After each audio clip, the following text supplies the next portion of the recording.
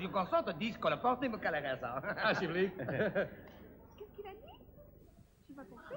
Qu'est-ce qu'il a dit Nou, hij zegt dat wij daar een grammofoonbord van hebben gemaakt in het Hollands. En dat er al 15 man zijn verkocht. Ah, bon, d'accord. Ja, c'est pas tenu mica salato, ne mica l'orte, mica sang, de pois de marmelade.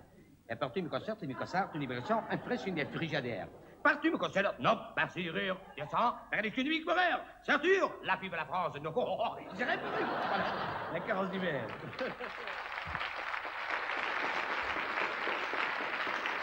Zo, zo zien we hem al jaren niet meer. Zo zien we hem al jaren niet meer in dit soort scènes met Frans Gal. Want ruim tien jaar geleden verbaasde hij vriend en vijand door zijn overstap naar het grote toneel. Hij begon meteen met een hoofdrol in King Lear van Shakespeare. Ongeveer de zwaarste rol die je kan voorstellen. Bijna vijf uur onafgebroken op toneel. Daarmee dwong hij al diep respect af. Nog groter was de waardering voor een van zijn volgende toneelrollen. Jacques de Fatalist, die hem de allerhoogste, meest begeerde toneelonderscheiding van ons land opleverde. De Louis d'Or. Maar hij bleef, en daarom is hij er nu ook even bij gaan zitten, dezelfde kraai. Vanaf volgende week maandag weer wekelijks in de brekers, John Kraaikamp.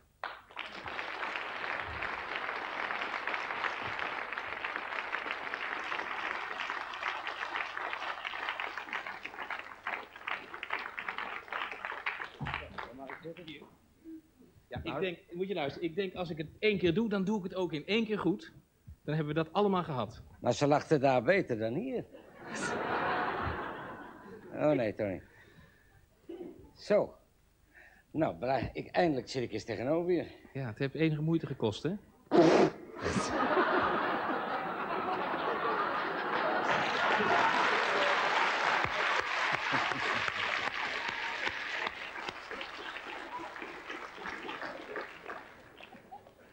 Hij vindt het leuk, zo'n gesprek. ik Dat hoef jij- niks te vragen, echt niet.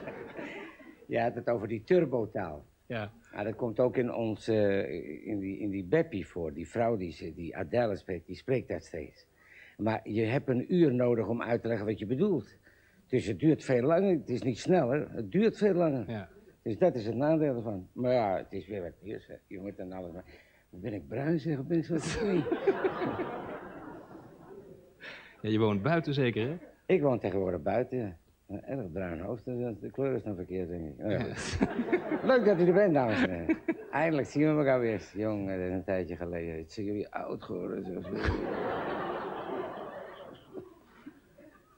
Maar als ik mezelf zo zie, ik ben weinig veranderd eigenlijk, hè?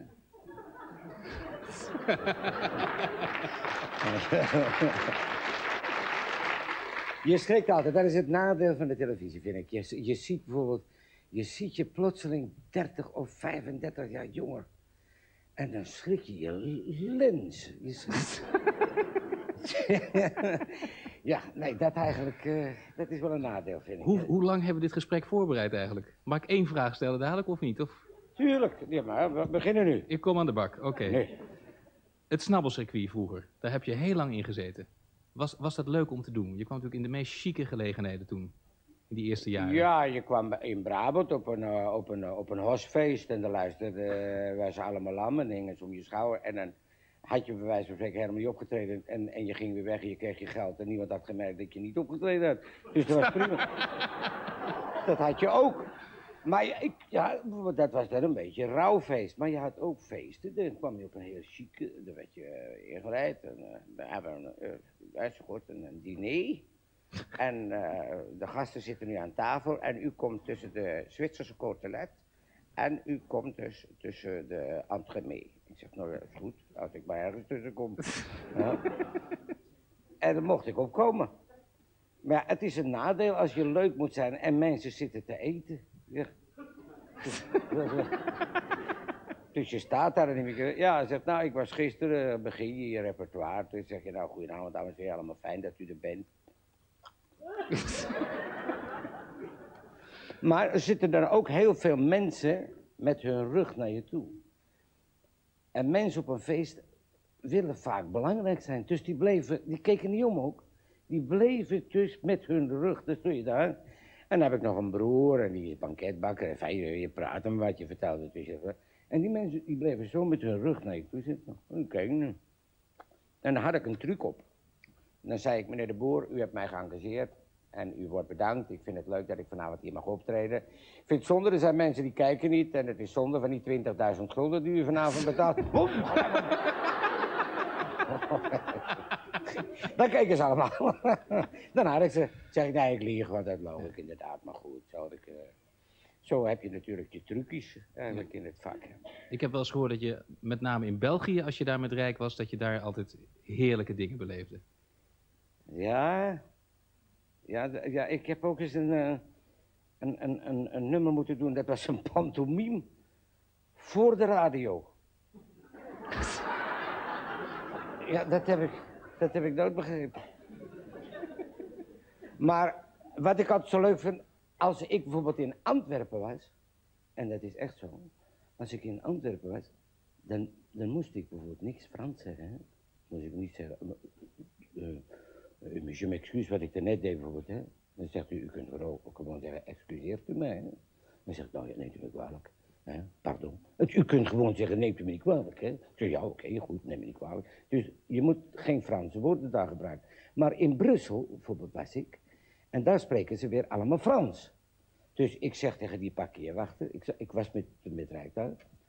Dus ik zeg tegen die parkeerwachter, ehm, ik, mag ik hier eh, mijn auto zetten? Want ik dacht er niet aan, plotseling niet aan het, want je komt in Brussel, je denkt niet aan Frans. Want je parle pas français, monsieur. Je parle pas euh, flamand, zei hij toen. Hè? Ik zeg, ja, maar eh, auto, ici, ici, hier, hè. Mais non, monsieur, ça va pas, ça va pas, ça va pas. Ik zeg, maar er is toch plaats genoeg? Non, monsieur, ça va pas, je parle pas euh, flamand, je parle pas flamand. Dus ik pak uit mijn borstzak zo, want ze zijn wel consequent wat dat betreft in België. dus ik, pas, ik pak 300 frank uit mijn zak en ik steek ze zo op. Eh, mag ik hier mijn auto zetten, meneer? Ja, zegt u, je kunt hem hier neerzetten, meneer. ja. Ik zeg, je kunt mijn kloten kussen. Want dat had ik nog uit België onthouden. Ja, ja. Ja, ja. Nee, maar gelukkig zijn niet alle Belgen zo hoor. Jongens, ze zitten te kijken hoor. Want ik heb er ook hele lekkere bij ontmoet. Nee, Ik wil nog één, één verhaal van je horen, want je hebt ook op, ooit op een huwelijk gespeeld, heb je me verteld. En eh, daar trad je opeens op met een hele knappe Italiaanse pianist. Ja, die was een hele knappe jongen, ja. En wij speelden op de bruiloft. Dus het was de bruidsnacht voor de bruidsnacht van de bruidegom. En die, en, die, en, en die bruid werd verliefd. Op die pianist. dat was ja. Ja, vertel dan nog maar grappies, hè.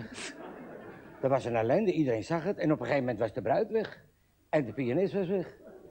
Dus die pianist was ook weg. En die zijn naar de wijnkelder gegaan. En toen hoorden we een klap. Heb je wel eens die domineestenen gezien? Die, die omvallen. Toen Ja. zat hij in die wijnkelder. En die had een beetje te wild tegen die rekken. en al die rekken, klop, klop, klop, klop, klop, klop. Dat is de enige keer dat ik heb moeten vluchten. In mijn vak. Dat was een prachtverhaal. Fantastisch. Je bent opgegroeid in de Kinkerbuurt, hè? Je Ja. vader had meer geen werk dan wel werk. En Ja, mijn vader, ja, mijn vader was een, levenskunstenaar. Maar ja, eh, er was geen werk toen. We leven in de, in de, in de, in de, in de crisistijd natuurlijk. Maar het was een leuk mannetje. Ik herinner me altijd hele leuke dingen van hem. En die komen dan wel naar boven als je er zo over praat. Daar hebben we het wel eens over gehad. En kan ik wat vertellen over? Ga je gang. Hè? Hij moest eens een keer de schoorsteen vegen. Want er was geen geld voor de schoorsteenveger natuurlijk. Een schoorsteenveger kostte 50 gulden. Dus hij zegt, dat doe ik zelf met buurman Lauwman. En ehm, toen zegt eh, mijn moeder, hoe doe je dat dan? Zegt hij, nou, ik heb een, eh, een touw met een, met, een, met een gewicht had hij eraan. En dan gaat buurman eh Lauwman boven op het dak. En dan, de kachel moest er voor vandaan, voor het gat. En dan moest buurman Lauwman, die moest die zo'n bal, zo'n gewicht, met een borstel eraan laten zakken. Hij zegt, en dan roep ik hoei. En dan laat je dat ding naar beneden vallen. Nou, buurman Lauwman, die was een beetje dood. Die zegt?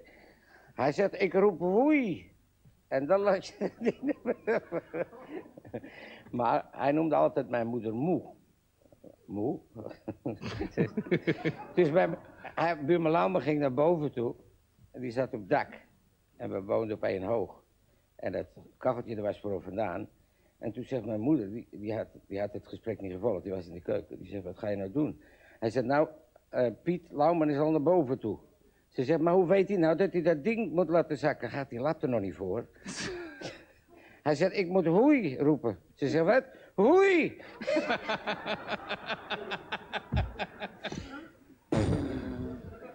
nou, nou, nou. Maar dan mocht je niet lachen bij mijn vader. Nee. Later wel. Maar op dat moment was je als kind zo blijven zitten. Dat heb ik hem nu nog kwalijk. Op je vijftigste ben je opeens klassiek toneel gaan spelen. Je peel- speelde King Lear, een man Eh. die alles op had gegeven en eigenlijk eh, slachtoffer van zichzelf was. Een man die alles kwijt was. Het was in een periode waarin je zelf ook, heb je wel eens gezegd, bijna aan de rand van de afgrond zat. Hè? Nou, kijk, het, eh, aan de rand van de afgrond was eigenlijk na mijn huwelijk. Daar, we- na mijn eerste huwelijk. Maar ja, ik, toen was het de rand van de afgrond bereikt. Ja, toen had ik eigenlijk maling en alles. Eh, daar sta je ook alle dagen in de krant. Dan sta je de voorpagina, zie je dan dat je in een KLM-gebouw op een stoepetje met een fles onder je arm. Dan, eh, dan nemen ze je. Nu hoor je niks, want het gaat me nu goed. Ik heb een huis aan de vecht en het is allemaal prima. Dan zie je, sta je niet in de krant. Dat is helemaal zo, dames en heren, dat u niet denkt dat ik van de wereld ben, dat u me niet meer in de krant ziet. Maar het gaat me goed. Dus dat u dat weet, hè.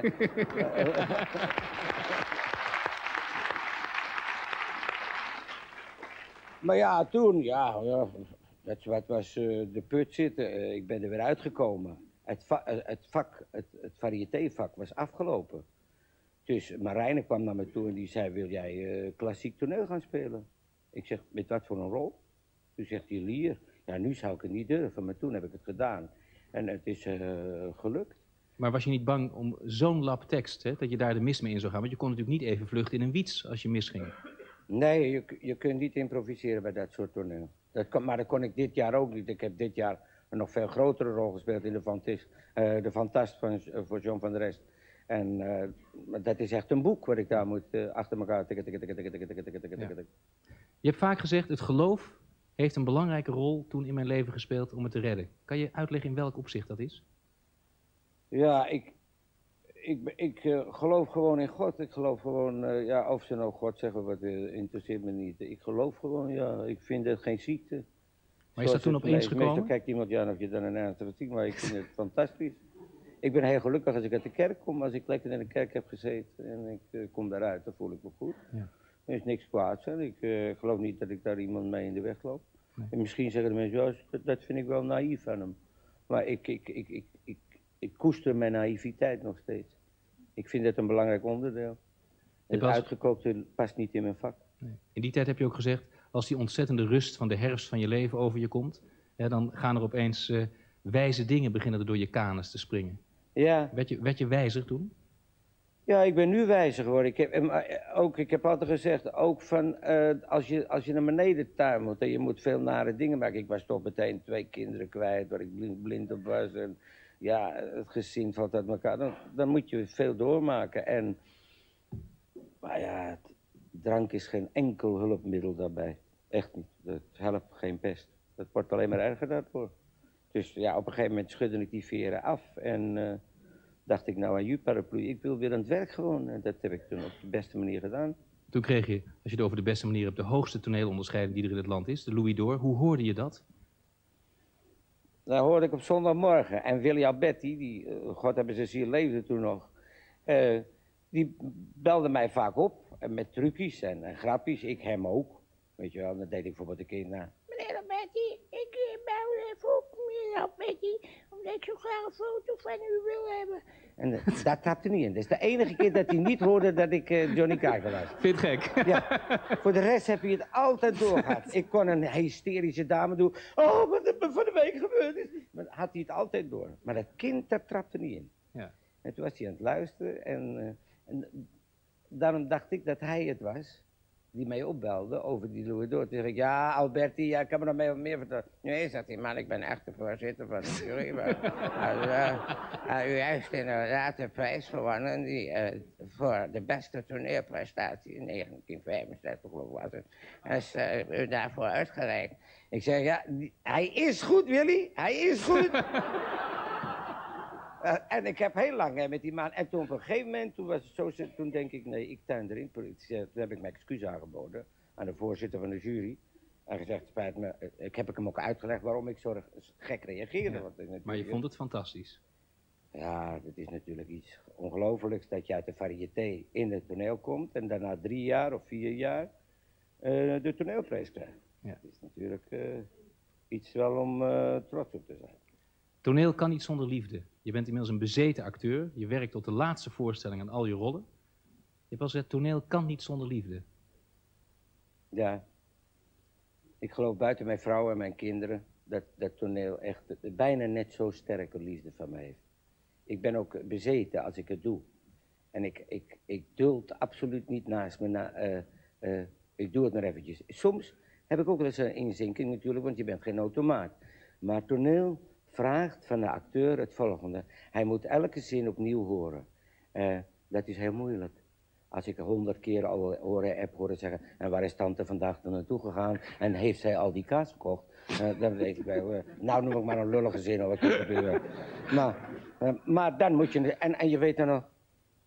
heeft tante dan de kaas gekocht? En je moet maar echt, echt zo ondergaan dat je het opnieuw hoort. Ja, dat is eigenlijk een heel moeilijk facet. En als ik zie dat iemand dus eh, langs over mijn schouder kijkt eh, of er een leuke... dan zeg ik, mij aankijken! Met een toneelstuk, kan eigenlijk niet, maar ik doe dat dan. Dan ben ik heel kwaad, plotseling, hysterisch. eh. het toneelstuk dat is ontzettend belangrijk. Het moet echt heel belangrijk. Mag ik tot slot een paar reacties op een paar woorden. Korte reacties. Forellen. Stilte. Bergen met hoge sneeuw. Bruisend water om je heen. Een, eh, een hele moeie grote vis. Die je recht in de stroom moet zetten, anders gaat hij dood. Een haak zonder weerhaak. Die je uit zijn bek haalt. En hij is zo moe gevochten dat hij als een dronken man in je hand staat. En als je hem dan loslaat, sterft hij. Als je niet zo goed oppast op hem. Dat je hem goed vasthoudt en dan staat hij. En Ja. plotseling merkt hij, ik zit, wat moet ik hier? En dan is hij weg. En dan is hij weg. Dan, dan leest hij. Dan Jan, leest hij weer. Jan Blazer. Een vriend waar ik verschrikkelijk bij gelachen heb. Ik was klaar, ik had mijn zwarte das in de auto, mijn jasje. Maar ik moest repeteren en die liep uit en ik kon niet weg, ik kon niet weg. En nou, was ik er niet. Maar ik was toch wel bij hem. Een hele Rijk. goede vriend. Rijk. Rijk, een mildere man geworden. Op zijn oudere leeftijd. Vroeger een bruskop net als ik. Nu kijken we elkaar aan. Sanne. Onvergetelijk. Fantastisch. Je dochter. Fantastisch. Eh, heel lief, heel lief. Waarom ga je niet mee naar de kerk? Oh, God is dat toch nooit. De laatste naam. Mailoen. Ja. Ster die nooit verbleek. Een liefde. John, het was een eer je hier te hebben. Dankjewel. Wederzijds.